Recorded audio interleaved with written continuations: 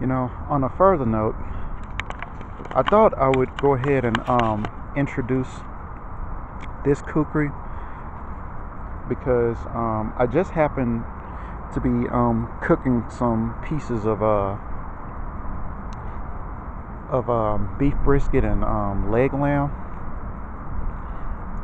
And one of the tools that I use to, um, you know, and anybody who's dealt with lamb before knows just how tough and thick lamb can really get. I mean, it's a very, you know, it's, I would say, it's even tougher than uh, beef or, you know, cow, whatever.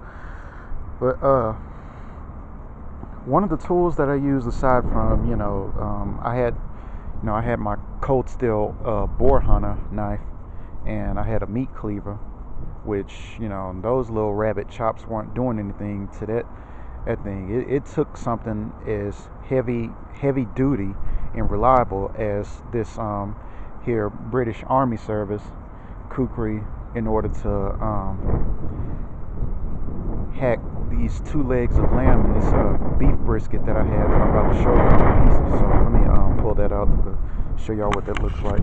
Give me a second.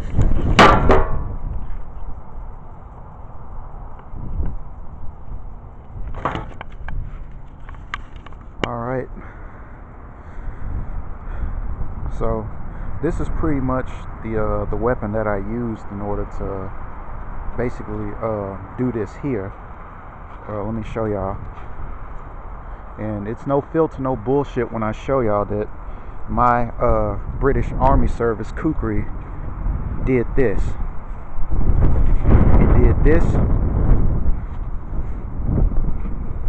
And it did this.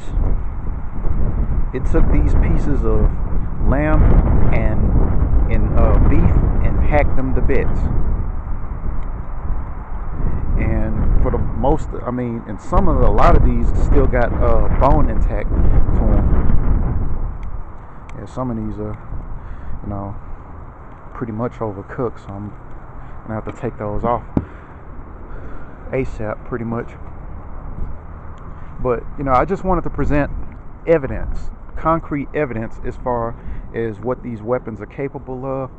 They're, um, you know, I would say they're even more reliable than axes because I've been meaning to get some cold steel axes, or you know, hawks rather, hatchets, for some time. But um, and I still will, but you know, it's it's other things that you know I'm prioritizing, like more of um, Himalayan imports um, weapons because they have this knife called the Shiva knife, which is supposed to be a vicious thing. And once I get it, I'll definitely um, present it on YouTube, you know, for the world to see. But like I said, I, I can't recommend these kukris enough.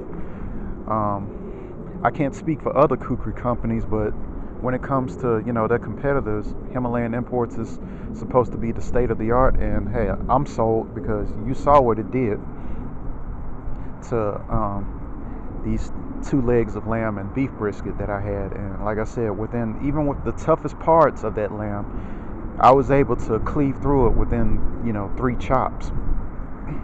And I wasn't going full force, as you know, a butcher would probably recommend against anyway. So, so this is the uh, British Army Service. I know in the last video I kind of had it confused with the World War II um, kukri. The last one was indeed the World War II kukri. But you can all get these at uh, Himalayan Imports. Catch y'all in the next video. I'm out.